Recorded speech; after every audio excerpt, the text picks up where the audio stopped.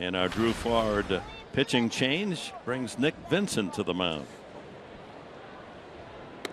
Strike three called. He's been punched out for the third time. How about Vincent? Two innings, six up, six down, three by strikeout. Second uh, Academy of the Padres to make it to the big leagues. Kevin Quackenbush.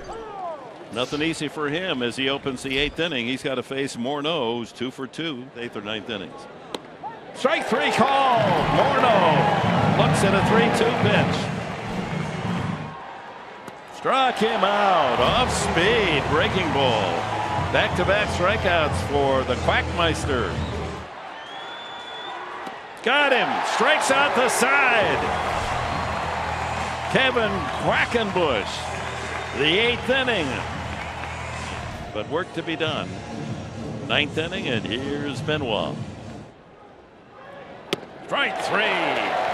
12 strikeouts by Padre pitching tonight five in a row now. Vincent struck out Stubbs in the seventh.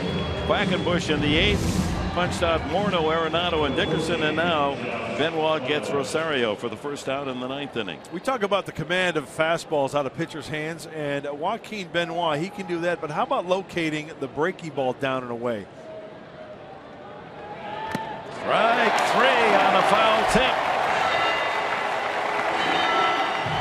Six in a row, striking strikeout.